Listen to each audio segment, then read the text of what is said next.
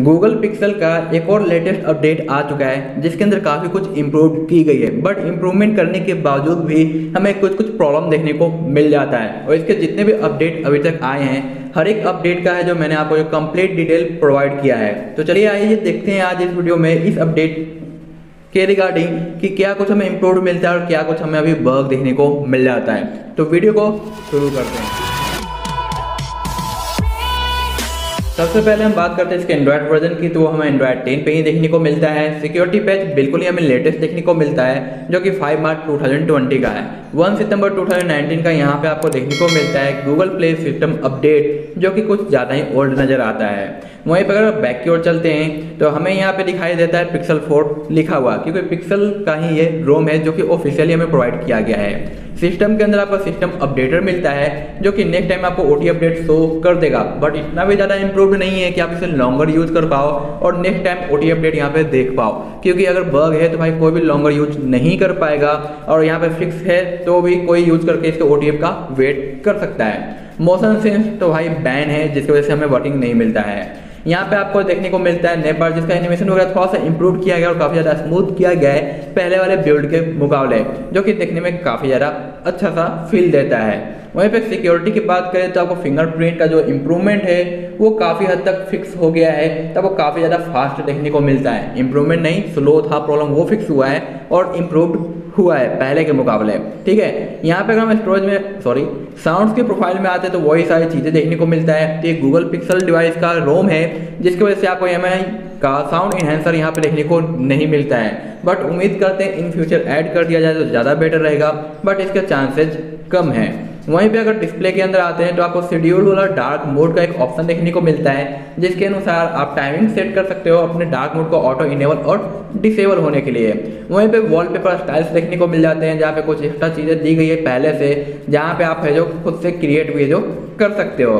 वहीं पे डिस्प्ले का बिहेवियर नोटिफिकेशन डबल टैप और इंक्रीज टच सेंसिटिविटी भी दिया गया है। जिसके अनुसार आप अपने टच का जो रिस्पॉन्स है, काफ़ी ज़्यादा इंक्रीज कर सकते हो। यहाँ पे पहले एक प्रॉब्लम आ रहा था हमें ब्राइटनेस को लेकर, क्योंकि इसका जो पहला रिव्यू मैंने प्रोवाइड किया था टेक ऑफ़िस पे वहाँ पे मैंने साफ़ साफ़ बताया था कि ब्राइटनेस में लो है, इसके इम्प्रूव होने की ज़रूरत है। तो यहाँ पे ब्राइटनेस काफ़ी अच्छा इम्प्रूव हो गया है और देखने में हमें काफ़ी ज़्यादा अच्छा लगता है। तो आप इसे आउटडोर में भी इजिली यूज़ कर पाओगे। नाइट मोड वगैरह भी जो यहाँ पे इम्प्रूव हो गए हैं, आप वन टाइम में हॉट स्पॉट और वाईफाई दोनों को एक्टिव कर सकते हो। अगर आपको जो इसका बेनिफिट लेना है तो दोनों वन टाइम में काम करते हैं। कोई भी दिक्कत आपको नहीं आती है। यहाँ पे आप देख सकते हो दोनों का फ्लैश लाइट है जो एक साथ टर्न होता है तो ये भी आपको फिक्स्ड मिलता है। जो गूगल का यूआई है, वो भी इम्प्रूव किया गया है, जिसकी वजह से आपको और पहले के मुकाबले इम्प्रूवमेंट देखने को मिल जाती है। यहाँ पे जो इसका बाई डिफ़ॉल्ट कैमरा है, ये बिल्कुल ही अपडेटेड है। तो आपको कोई भी प्रॉब्लम नहीं आती है, चाहे आप वीडियो रिकॉर्ड कर लो फ़ोटोज़ क्लिक कर लो, काफ़ी कमाल की आपको शार्पनेस और क्लियरिटी देखने को मिलती है, चाहे आप पोर्ट्रेट क्लिक करो या फिर नॉर्मल तो यहाँ पे कैमरा मुझे काफ़ी ज़्यादा पसंद आया। तो कैमरे के अंदर मुझे कोई भी इशूज देखने को नहीं मिला है। तो मैं कहूँगा भाई कैमरा काफ़ी कमाल का इंटरेस्टिंग है। वहीं पे यहाँ पे इसके अगर बेंचमार्क की बात करेंगे क्या हमें मिलता है तो जो टोटल स्कोर निकल के आया है, वो है two four nine nine five five का।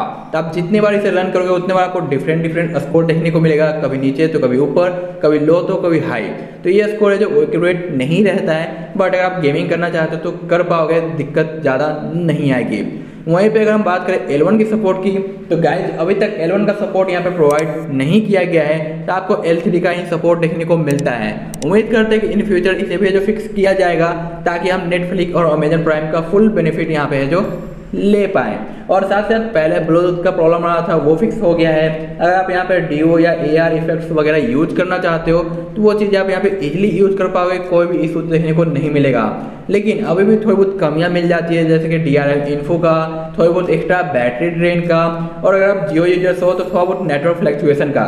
जबकि जीएसएम वगैरह और भी कई सारी चीज़ें इंप्रूव की गई है, ताकि नेटवर्क काफ़ी ज़्यादा स्टेबल किया जा सके, फिर भी आपको यहाँ पे नेटवर्क में उतनी अच्छी स्टेबिलिटी दिखाई नहीं देती है।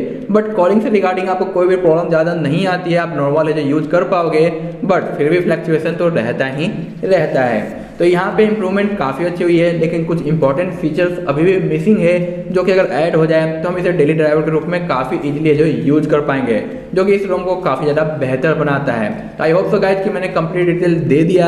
रही बात फ्लैशिंग मैथड की तो इसके पहले भी मैंने आपको वीडियो प्रोवाइड किया था, जिसमें यह बताया था कि इसे फ्लैश कैसे करना है।